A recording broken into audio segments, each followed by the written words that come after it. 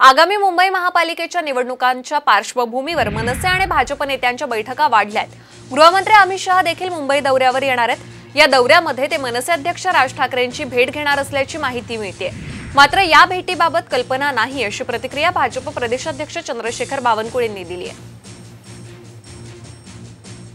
जे आपल्या कार्यक्रमात येत आहेत ते कोणाकोणाकडे जातील कोणाला भेटतील याच्याबद्दल आज मी काही सांगू शकणार नाही. तेही मित्र आहेत का त्यांचे? नाही. आम्ही तर सध्या मित्र सर्व राज्यामध्ये.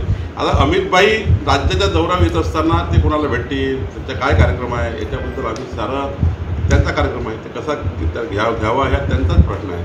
आम्ही त्यामध्ये काही आज मला माहिती नाही की काय कार्यक्रम आहे. पण निश्चितपणे त्यांचे कार्यक्रम त्यांनी ठरवले असतील.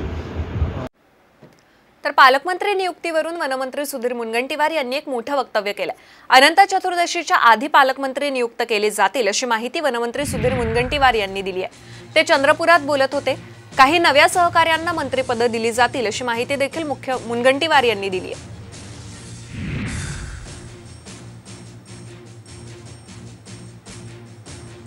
या या अनंत चतुर्दशी अनंत चतुर्दशीच्या अगोदर पालकमंत्र्यांची घोषणा होईल.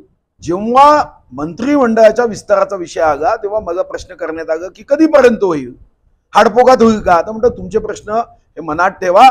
दिवाळीच्या अगोदर मंत्रिमंडळाचा विस्तार होण्याची शक्यता आहे त्याची तुम्ही चिंता करू नका. आता आम्ही वीस जण आहोत. अजून काही आमचे मंत्री सहकारी होतील आणि राज्याची सेवा करण्याचा जो आमचा संकल्प आहे तो संकल्प पूर्ण शक्तीने आम्ही पूर्ण करू.